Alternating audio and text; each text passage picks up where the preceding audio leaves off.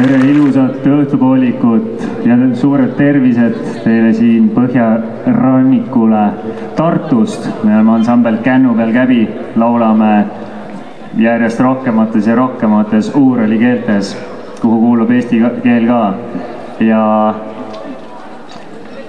väga hea rõõm on taas teid näha, häid sõpru ja, ja nii vanu kui uusi. alustame liivi keelega üsna lähedane sugulasrahvas ja keel otse meie lõunanaabrite juurest.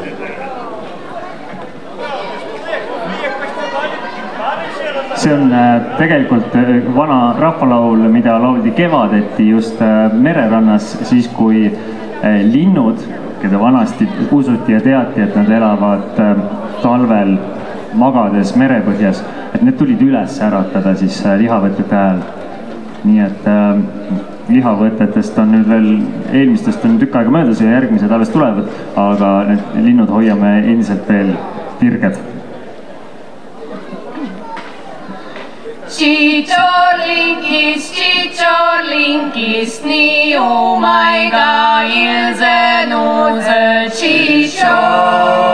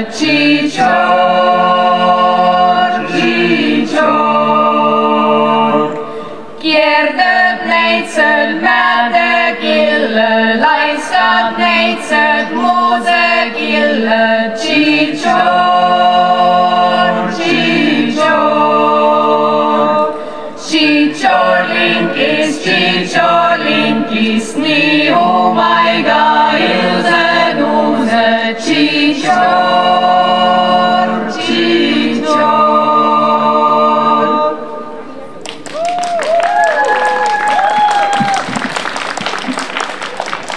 suur tänu, nagu liivlased ütleksid.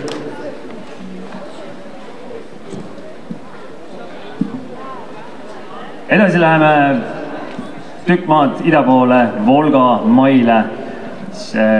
Siin meie ridadeski on, on liivi juurtega inimesi, aga on ka mokša rahvast. nii et äh, järgmine lugu on puhas mokša keel. Anna, räägi sellest loost natuke lähemalt. minu rõõmuks laulame ka mu emakeeles ja laul armastusest, igatsusest ja äh, laulu sõnad on tuntud äh, Mokša luuletaja Poliin Aljošinalt ja muusika Kännu peal käbi ja Anti Lillak. nii et äh, head nautimist, laul Mõrdak võib tulla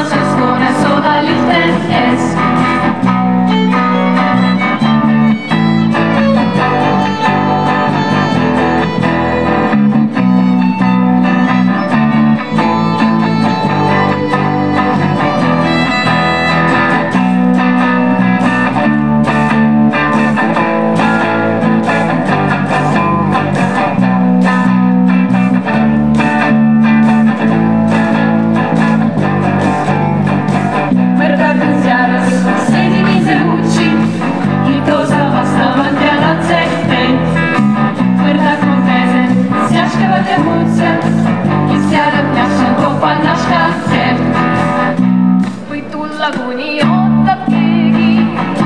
nii kaua, kuni meeles kristalleerib ja kustutada võitsa pealegi, kui selja taga sõimab kadekeel.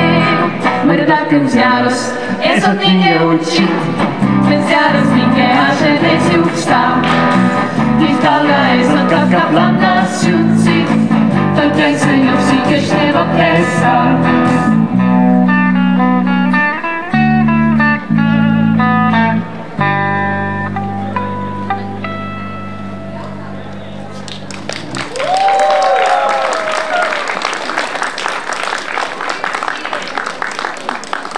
Suur tänu.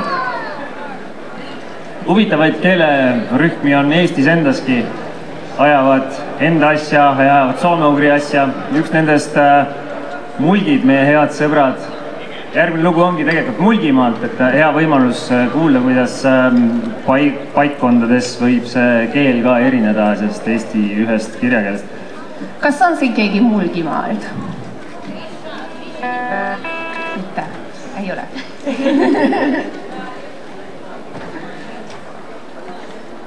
otsige oma need äh, esivanemate juured arhiividest ja kuskilt välja, et te võite üllatuda.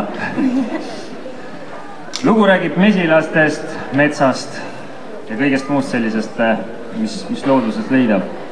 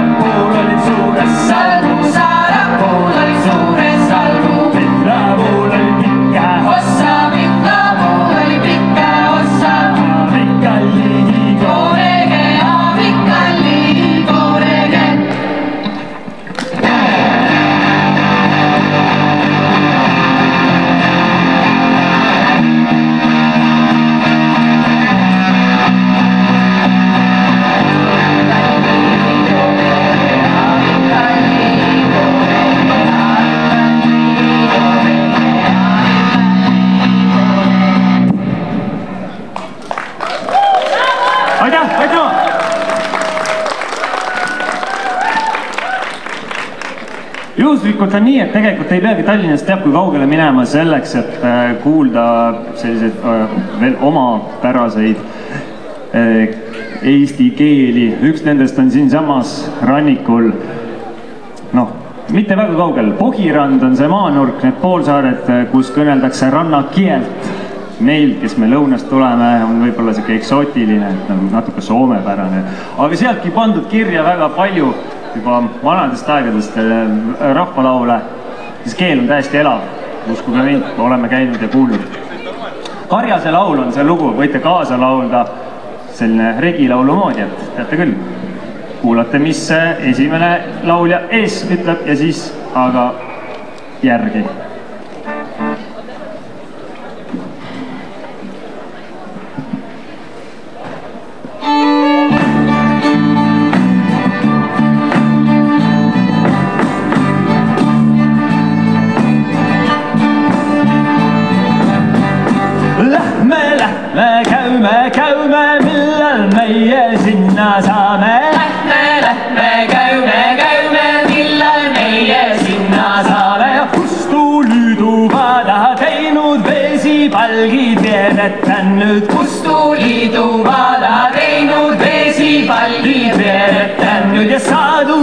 Saaduseinad sammeldanud, uudu uksed ööveldanud. saduseinad sammeldanud,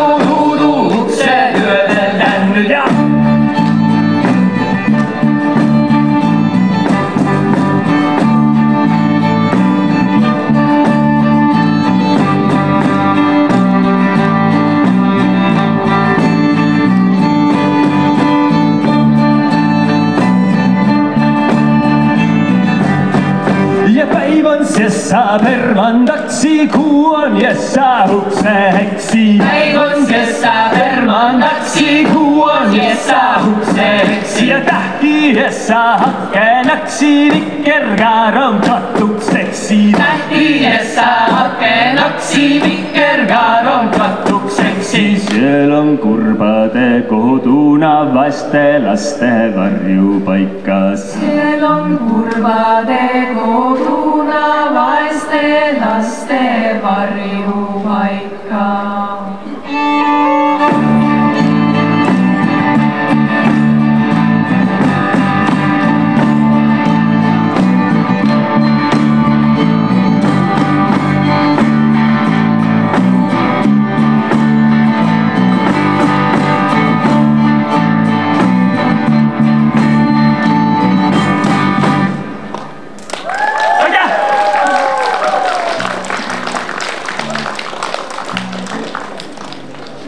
Üks selline täiesti elav äh, kohaliku paikkondliku keele kant Eestis on Peipsi ääres Kodavere kihelkond, seal kõneldakse muidugi Kodavere keelt.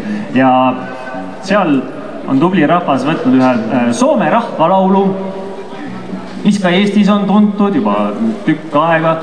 Ja, ja pannud siis nagu oma keele moodi, aga ma usun, et paljudele on see tuttav, kui ma ütlen, et refrään kõlab, et hei tillukene, vellekene, kuldani, kaldani, mullumi ja karjan käsin. teate, eks ole, just.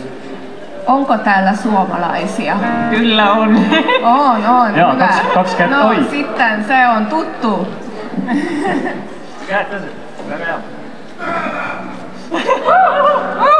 Suomi!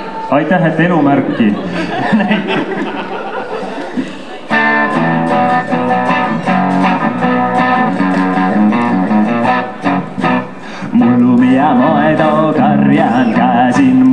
ja karjaan käsi. Ei tillu kene velkene, kultani kallani, mullu vie karjaan käsi. Ei tillu kene velkene, kultani kallani, mullu vie karjaan käsi. Tegin ja pilli paju kuores, pilli tegin paju kuores. Ei tillu kene velkene, kultani kallani,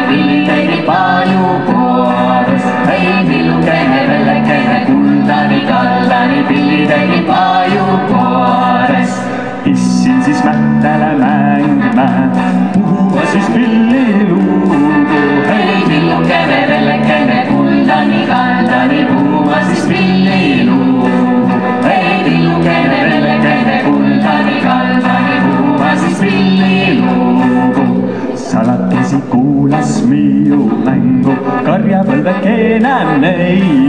Ei silloin kellelle, kelle kuntani kallani karjapössä enää ei. Ei silloin kellelle, kelle kuntani kallani karjapössä enää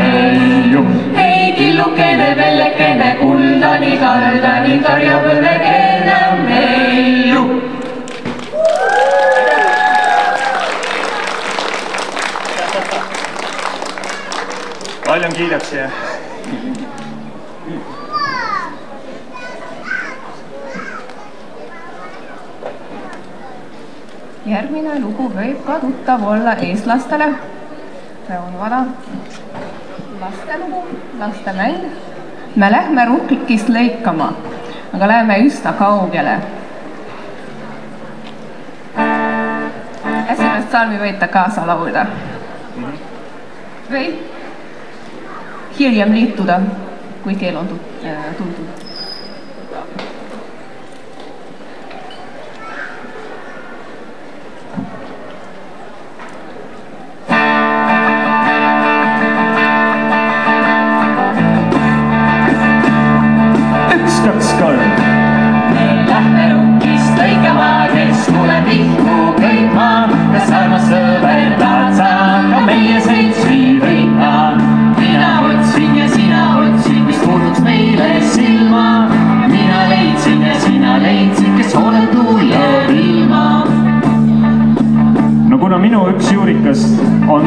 Setomaa mullas, siis teeme kindlasti seto keeles ka siin Tallinna Raekoja platsil.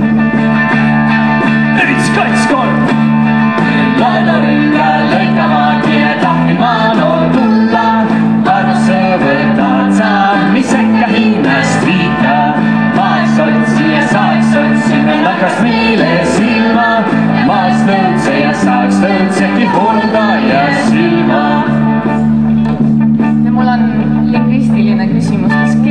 teab, mis on lõuna-eesti keeltele kõige lähem sugulaskeel? vihjeks võin öelda, need inimesed elavad Eest-, elasid Eesti ja Lätimaa aladel. see on liivi keel, teeme liivi keeles. teeme liivi keeles. üks, kaks, kolm. mängib härraliidest lõikama, kes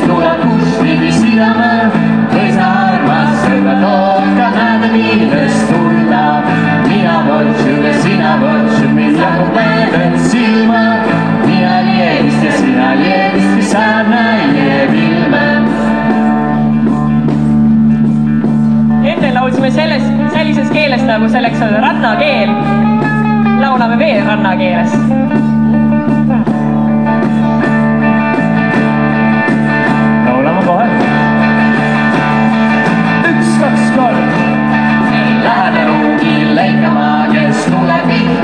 Ainda má, passar uma certa, não những na primeira cantarei.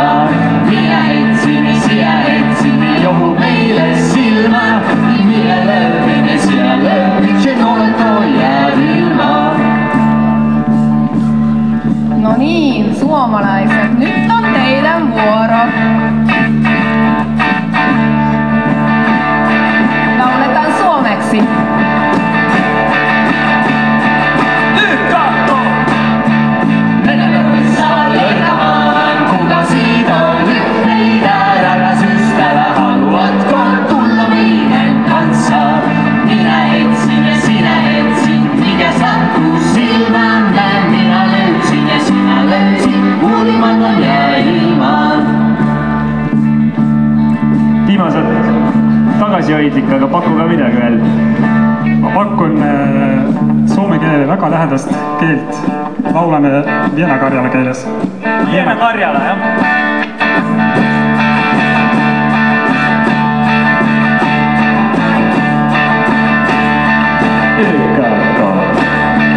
Läheme